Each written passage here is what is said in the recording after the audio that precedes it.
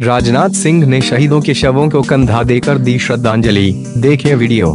गृह मंत्री राजनाथ सिंह ने गुरुवार को पुलवामा में हुए आतंकी हमले पुलवामा टेरर अटैक में शहीद जवानों के शवों को कंधा देकर उनको परंपरागत तरीके से श्रद्धांजलि दी।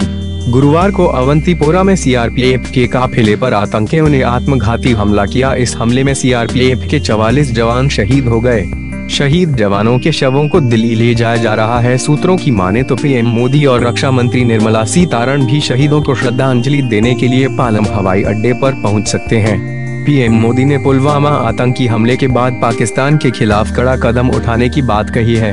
आपको बता दें कि गुरुवार की शाम इस आतंकी हमले पर गृह मंत्री राजनाथ सिंह ने प्रतिक्रिया देते हुए कहा था कि इस हमले में शामिल लोगों को बख्शा नहीं जाएगा। उन्होंने कहा था, जवानों की इस शहादत का बदला लिया जाएगा। सीसीएस की बैठक के बाद आज पीएम मोदी ने कहा कि सुरक्षा बलों को कार्रवाई को पूरी छूट दे दी गई है।